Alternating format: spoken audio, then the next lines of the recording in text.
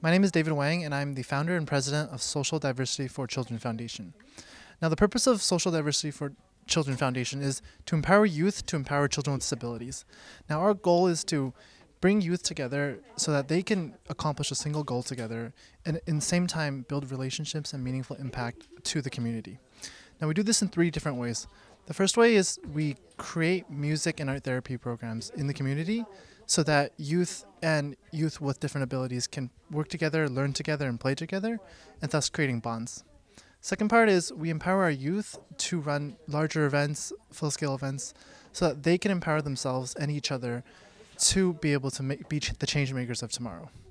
Lastly, we create different initiatives in our community, such as scholarships, donations to schools, um, projects where we cure thousands of people's uh, retinas or blind, blindness and different types of medical other issues. Now, how I got involved this, in this is I started the organization when I was 15 years old.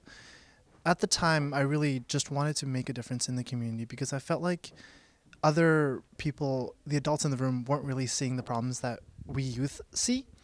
And at the time, I felt like if I can make a change and bring the youth around me together, we can make a bigger impact.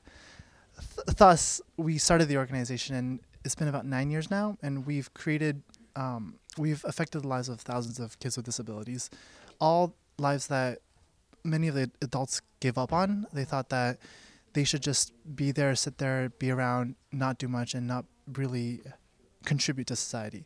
So we've taken that idea, flipped it on, on top of its head, and really made the difference. Now, how I want other people to be involved is I want people to know that any difference, anything that they, any idea they want to do, to never give give up on that idea, and to continue and work towards that one goal. And even it might not happen tomorrow or the day after that, but eventually, if people try hard enough and more enough people work together, any goal can be accomplished, and we can create a society where we can reduce a lot of the stigma around different types of populations that exist today.